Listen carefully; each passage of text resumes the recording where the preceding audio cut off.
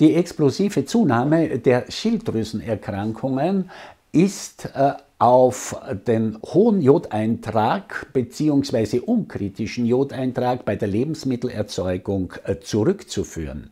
Sie können sich äh, davor schützen, indem Sie einfach Lebensmittel mit sehr hohem Jodgehalt meiden. Mehr dazu erfahren Sie in diesem Video.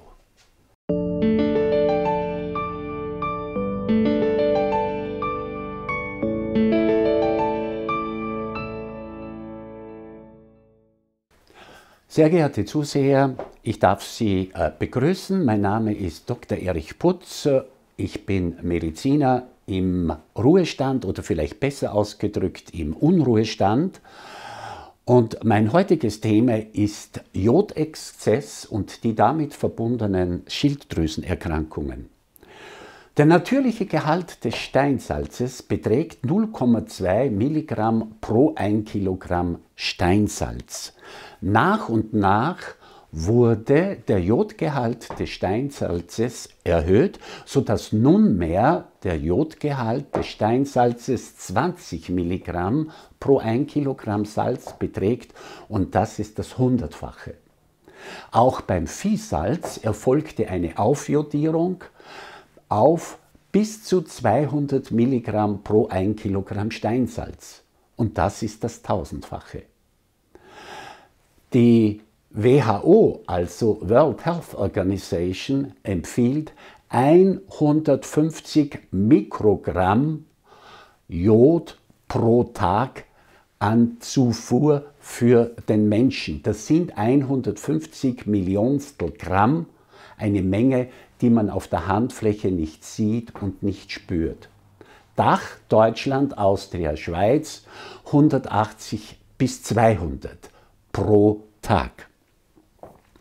Die nach und nach äh, erfolgte gesteigerte Zusatzjodierung unseres Speisesalzes und Viehsalzes und auch die Verwendung von jodhaltigen aufbereiteten äh, Meeresalgen führten zu einem extrem hohen Jodgehalt in unseren Lebensmitteln.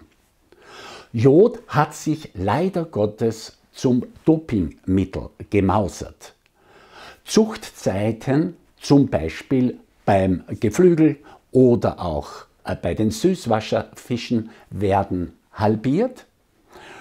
So ist eine Forelle in zwölf Monaten schlachtreif und äh, würde aber normalerweise in etwa 24 Monate brauchen. Beim Geflügel normalerweise 60 Tage, so mit der Zusatzjodierung ist es möglich in 30 Tagen. Die Milchproduktion bei den Tieren, bei den Rindern wird gleichfalls enorm gesteigert. Durchaus ein Geschäft.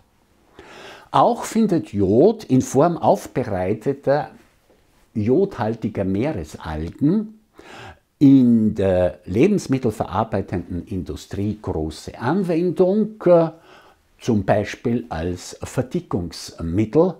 Hier kommt sehr oft die Rotalge Carrageen zum Einsatz. Jod ist auch ein Konservierungsmittel und schützt insbesondere alkoholfreie Getränke wie alkoholfreie Biere, aber auch sehr viele Fruchtsäfte vor frühzeitigem Verderb. Eine Aussendung der Universität Innsbruck diesbezüglich belegt die hohen Jodgehalte in diversen Getränken. Zudem kommt Jod als Desinfektionsmittel auch zum Einsatz, zum Beispiel bei Melkanlagen, in Molkereien, aber auch natürlich in Operationssälen oder in Metzgereien, mitunter auch in Bäckereien. Ein äh, aktueller Vergleich mit äh, den äh, Jodgehalten äh, früherer Zeit, festgehalten in der Lebensmittelbibel Suchi Fachmann Kraut, zeigt auf, dass äh, die aktuellen Jodgehalte um das zigfache in den letzten Jahrzehnten zugenommen haben. Jod ist ein Spurenelement und kein Mengenelement. Übrigens, Jodsalz ist nicht koscher. Amerikanische Schiffslinien verzichten auf äh, Speisen mit Jodsalz aus Rücksicht äh, auf ihre jüdischen Mitbürger. Der Mensch ist das letzte Glied in der Kette und hier sammelt sich natürlich der Jodgehalt der Speisen an. Schon Paracelsus sagte, die Dosis macht das Gift. Bereits vor 500 Jahren. Der hohe Jodgehalt in unseren Lebensmitteln hat auch für viele unserer Mitbürger zur Folge Schilddrüsenfehlfunktionen und hier steht im Mittelpunkt Morbus Hashimoto oder vielleicht besser ausgedrückt Thyreoiditis Hashimoto, denn es handelt sich um eine autoimmune, aber entzündliche Erkrankung. Die Schilddrüse zeigt einen Gewebeuntergang, stellenweise Gewebsbezirke, die bereits nicht mehr arbeiten und stellenweise Gewebsbezirke, die versuchen, mehr zu arbeiten, um, den, um die ausgefallenen Gewebsbezirke auszugleichen.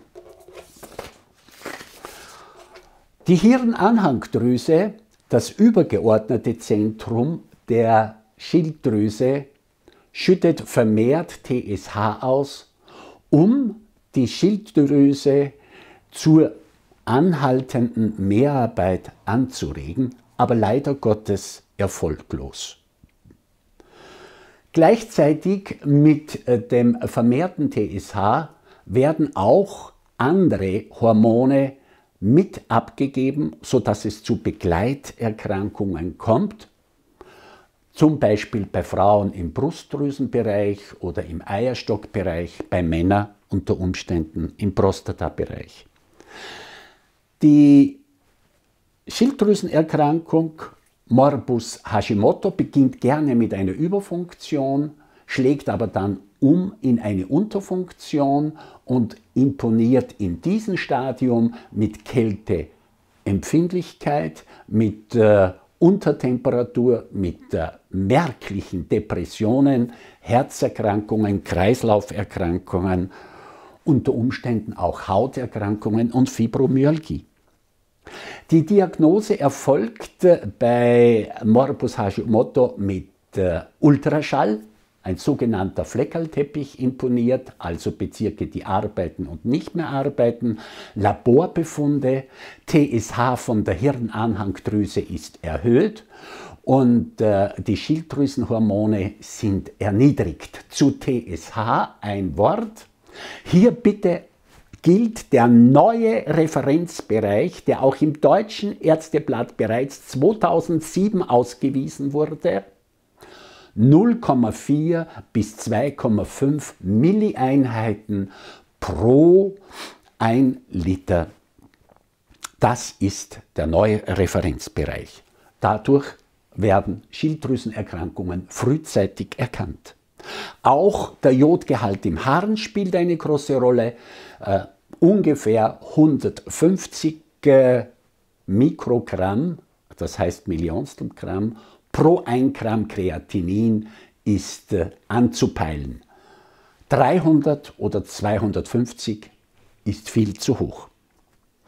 Auch wird empfohlen, natürlich einen hohen Vitamin D-Spiegel zu haben, zumindest äh, den neuen Referenzbereich, der zwischen 50 und 70 Mikrogramm liegt. Therapie, Diät. Diät ist ganz, ganz wichtig.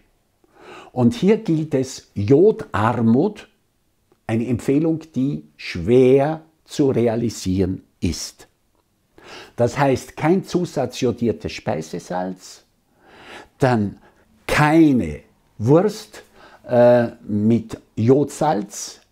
Die Wurst enthält ungefähr pro Kilogramm 20 äh, Gramm Salz und das ist in der Regel jodiert. Kein Hartkäse, der reift in der jodierten äh, Salzlake und auch Gebäck meiden mit zusatzjodiertem Salz. Schilddrüsenhormontabletten, zum Beispiel Orthorox, mitunter auch etwas Selen. Die Tabletten werden benötigt, äh, um die Schilddrüse vorübergehend äh, ruhig zu stellen, das heißt von der Arbeit zu entlasten und für einen ordentlichen Schilddrüsenhormonspiegel zu sorgen. Vitamin D ist auch ganz wichtig. Hier ist empfehlenswert ein Spiegel von 50 bis 70 äh, Nanogramm pro Milliliter. Der Verweis, dass äh, radioaktives Jod eine große Rolle spielt aufgrund des äh, Reaktorunfalls in Tschernobyl, ist durch und durch fragwürdig. Deshalb, weil die Halbwertszeit von radioaktivem Jod acht Tage beträgt und der Reaktorunfall im Jahre 1986 stattfand. Ich danke für Ihre Aufmerksamkeit.